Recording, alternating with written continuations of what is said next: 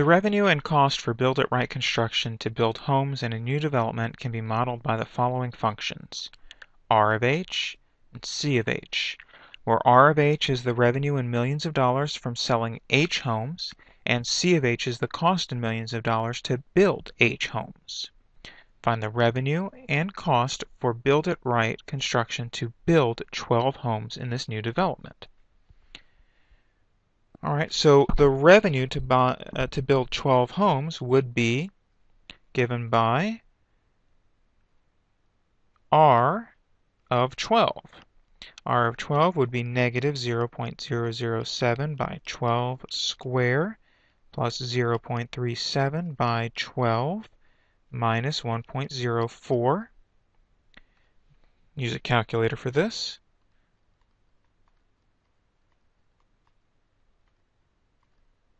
All right, plus 0.37 by 12 minus 1.04. I get 2.392.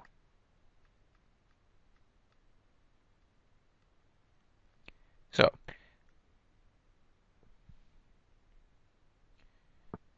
there would be uh, there would be a revenue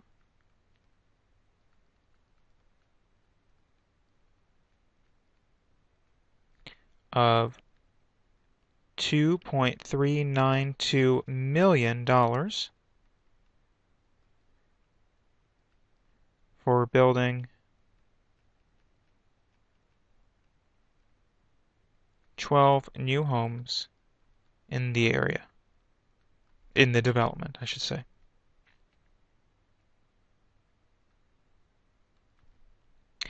The cost would be C of 12, and that would be negative 0.005 by 12 square plus 0.23 by 12 minus 0.68.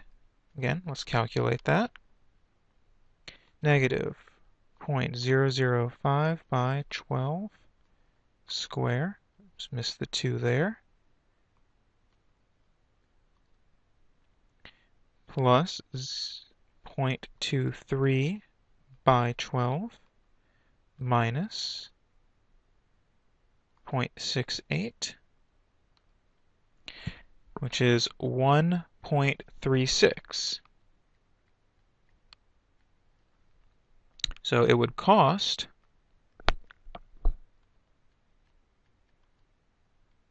$1.36 million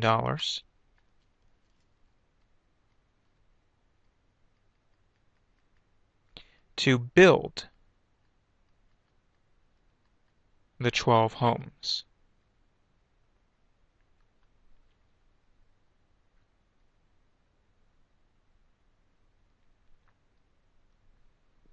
B, find a new function that will give the profit in millions of dollars when they build H houses. Profit, so let's say that the profit for building H homes, well, profit is equal to revenue minus cost. So revenue is negative 0.007 h squared plus 0.37 h minus 1.04.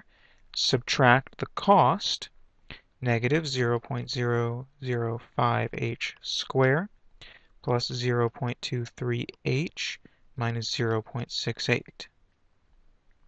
Now, of course, since we're subtracting, remember that that subtraction distributes through the entire second polynomial.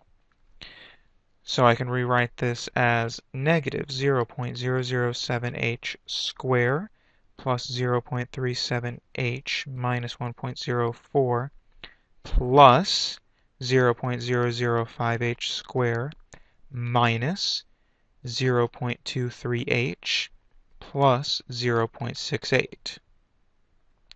All right, and now simplifying this, I would have, let's see, negative point, I'm just combining like terms here, negative 0.007 plus 0.005, that would be negative 0.002h squared and then I have a plus 0.37h and a minus 0.23h. That would be a plus 0.14h. And then I have a negative 1.04 and a plus 0.68. So that would be a minus 0.36. So P of H is equal to negative 0.002h squared plus 0.14h minus 0.36. P of H is the profit in millions for, buy, for building H homes. So now find the profit for 25 houses. That would be P of 25. So that's negative 0.002 by 25 square plus 0.14 by 25 minus 0.36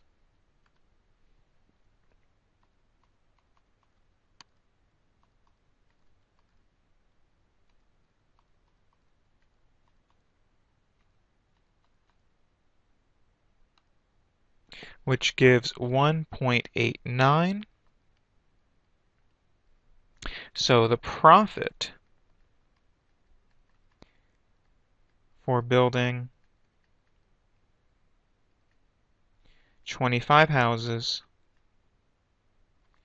is $1.89 million.